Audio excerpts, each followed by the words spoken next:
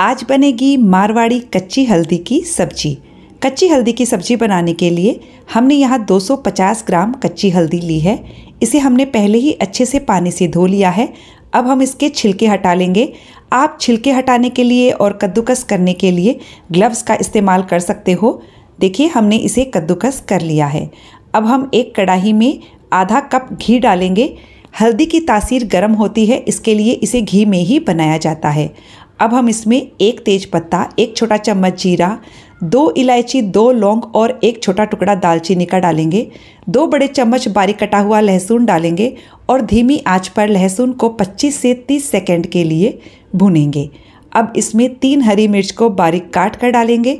इसे भी लहसुन के साथ अच्छे से भून लीजिए। अब इसमें ये कद्दूकस की हुई हल्दी डाल देंगे। इसी के साथ दो इंच अदरक के टुकड़े को बारीक काट कर ले लिया है। अब हम धीमी आँच पर हल्दी को 15 से 16 मिनट के लिए कंटिन्यू चलाते हुए भुनेंगे।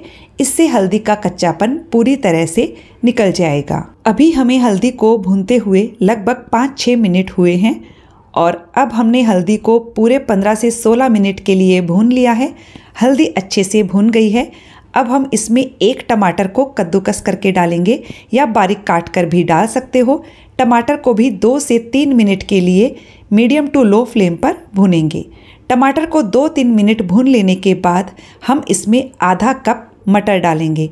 मैंने उबले हुए मटर का इस्तेमाल किया है।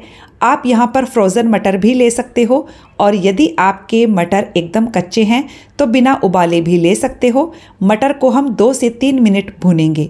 तो जब तक मटर भूनते हैं, हम यहाँ एक कप दही लेंगे। दही रूम टेम्परेचर पर होना चाहिए और बहुत खट्टा नहीं होना चाहिए।